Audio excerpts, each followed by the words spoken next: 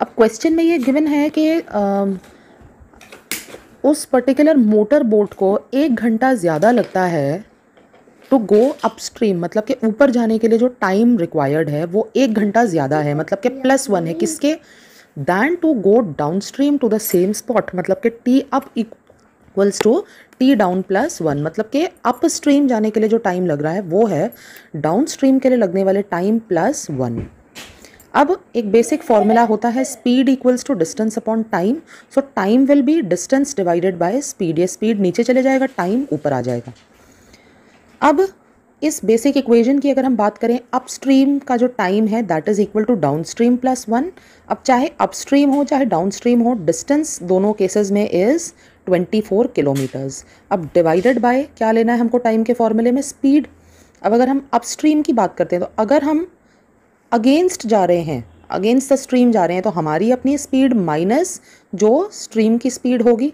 so that will be the speed of the motor boat upstream अगर हम उसी direction में जा रहे हैं, जिसमें कि पानी का डायरेक्शन जा रहा है। तो उस केस में जो दोनों की स्पीड है मीन्स कि हमारी मोटर बोट की स्पीड उसको एड अप करेगी क्या या उसको हेल्प करेगी क्या, वो जो डाउन स्ट्रीम पानी जिस डायरेक्शन में जा रहा है। बट अगर आप किसी के अगेंस्ट जाते हो तो आपको उस केस में, उसके अगेंस्ट में आपको हमेशा स्पीड्स को माइनस करना पड़ता है। क्यों? क्योंकि आपको कुछ फैक्टर्स को मीन्स के भाई अगेन इस डायरेक्शन में अगर पानी आ रहा है, इस डायरेक्शन में जाना है तो ऑफकोर्स हमारे लिए ये चीज़ थोड़ी सी मुश्किल हो जाती है। दैट इज़ बाई यहाँ पर जो स्पीड है that will be eighteen minus X अब ये था बेसिक लॉजिक ऑफ़ क्वेश्चन और उससे हमें कैसे इक्वेशन को बनाना है। या जो बेसिक हमें गिवन है क्वेश्चन में। अब इसके बाद तो this is simple solution I mean simple mathematical solving so सबसे पहले हम क्या करेंगे? एटीन माइनस एक्स और 18 प्लस एक्स का ले लेंगे यहाँ पे एलसीएम तो ये that will be the product फिर ये यहाँ पर हो जाएगा। अब यहाँ पे 18 माइनस एक्स है और यहाँ पे भी 18 माइनस एक्स है। क्या नहीं है? 18 प्लस एक्स नहीं है। तो जो 24 है that will be multiplied by 18 plus X minus 24 के साथ नीचे में क्या है? 18 प्लस एक्स है। क्या नहीं है? 18 माइनस एक्स नहीं है so that gets multiplied over here next step है, जो 18 minus X multiplied by eighteen plus X है, ये अभी लेफ़्ट हैंड साइड में डिवीज़न में है। जब ये राइट हैंड साइड पे जाएगा तो इट गेट्स क्रॉस मल्टीप्लाइड और यहाँ पे आ जाएगा one multiplied by this term तो इसे हमने यहाँ पे लिख दिया। और यहाँ पे इन दोनों में से मीन्स के जो न्यूमरेटर का टर्म है एटीन प्लस एक्स और एटीन माइनस एक्स इन दोनों में क्या चीज़ कॉमन दिख रही है? ट्वेंटी फोर अब ट्वेंटी फोर को बाहर निकाल के यहाँ पे ओपन करेंगे ब्रैकेट्स तो eighteen plus X will be as it is अब यहाँ पे आ जाएगा minus eighteen so it will be minus eighteen minus minus plus X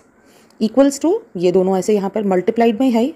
अब 18 माइनस एटीन गेट्स कैंसल्ड खत्म हो जाता है ज़ीरो आ जाता है और x प्लस एक्स है 2x तो 24 four multiplied by two X left hand side पे टू फोर ज़ा एट टू टू ज़ा फोर तो 48x एक्स आ गया इक्वल्स टू अब यहाँ पर है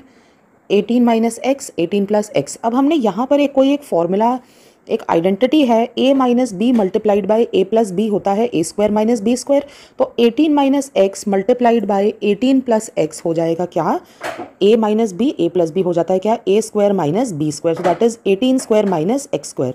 अब 18 का स्क्वायर इफ़ यू थोड़ा सा पॉज करके आप देख सकते हो 324 आता है मल्टीप्लिकेशन करने के बाद. सो so, मैंने सिंपली यहाँ पर 18 स्क्वायर माइनस एक्स स्क्वायर तो 18 का स्क्वायर है, ये जो यहाँ से आया था 18 square minus X square right hand side की जो टर्म है 18 minus X multiplied by 18 plus X की जगह पे लिख दिया 324 माइनस एक्स स्क्वायर ये पूरा टर्म जाएगा लेफ़्ट हैंड साइड पर तो जो माइनस एक्स स्क्वायर वाली टर्म है लेफ़्ट हैंड साइड पे जाने पे it becomes plus X square plus forty eight X already था minus three hundred and twenty four equals to zero अब हमने थ्री ट्वेंटी फोर जो यहाँ पर एक नंबर वाला टर्म है, जो ये क्वाड्रेटिक इक्वेशन बन गया ना this is A X square plus B X plus C equals to zero तो ए और सी के जो टर्म्स लिखे हैं, वो क्या है? Three twenty four multiplied by one so that is three twenty four अब इसके हम फैक्टर्स निकालेंगे तो थ्री ट्वेंटी फोर के फैक्टर्स हैं थ्री वन ज़ा थ्री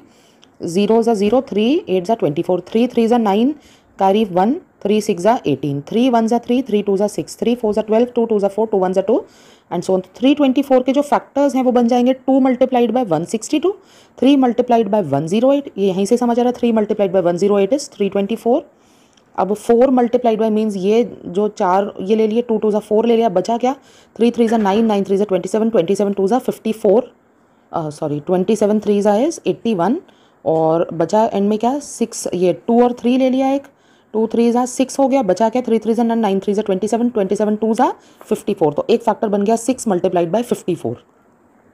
अब अगर अपन ध्यान से यहाँ पे देखते हैं X square plus forty eight X minus three twenty four तो जो थ्री ट्वेंटी फोर के फैक्टर्स आए थे चार, उनमें से एक है six multiplied by fifty four तो हम ये लिख सकते हैं 48 की जगह पे इन ब्रैकेट्स हम लिख सकते हैं 54 four minus six multiplied by X minus अब ये जो 324 है, उसकी जगह हम लिख सकते हैं 54 four multiplied by six equals to zero अब यहाँ पे ओपन करेंगे हम ब्रैकेट्स तो 54x four X minus six X minus fifty four multiplied by six equals to zero अब इन दोनों में से कॉमन निकाल देना है एक्स बचेगा X plus fifty four minus क्योंकि दोनों में माइनस साइन है। इन लास्ट टू टर्म्स में सिक्स कॉमन निकलेगा सिक्स और ब्रैकेट्स में क्या बचेगा? एक्स अब यहाँ दोनों में से क्योंकि हमने नेगेटिव साइन बाहर निकाल लिया, बचा क्या? पॉजिटिव साइन तो x plus fifty four equals to zero अब इन दोनों टर्म्स में से कॉमन निकल रहा है x प्लस फिफ्टी फोर और दूसरा निकल रहा है x minus six equals to zero अब नेक्स्ट स्टेप है, अगर दो चीज़ों का जो प्रोडक्ट है that is equal to that is equal to zero तो मतलब कि either the first term equals to zero और the second term equals to zero तो जो फ़र्स्ट टर्म है, वो क्या है? X plus fifty four equals to zero तो जब ये plus fifty four right hand side पर जाएगा तो वो बन जाएगा माइनस फिफ्टी फोर और जब यहाँ का X minus six equals to zero है तो जब minus six right hand side पर जाएगा तो क्या हो जाएगा?